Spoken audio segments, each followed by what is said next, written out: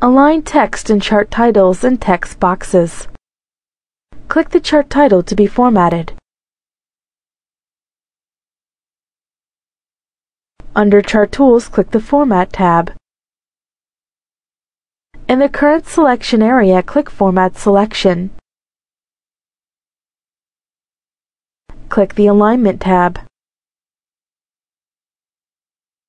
In the Text Layout area, from the Vertical Alignment drop-down, select the vertical position of the text.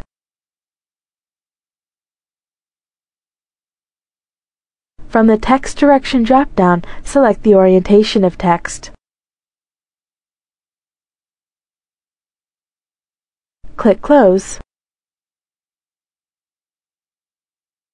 Right-click the text box to be aligned, and on the shortcut menu, click Format Object.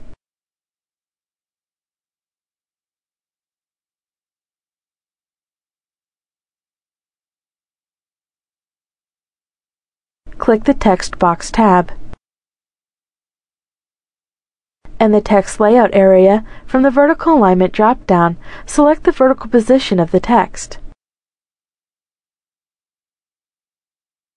From the Text Direction drop-down, select the orientation of text. Click Close.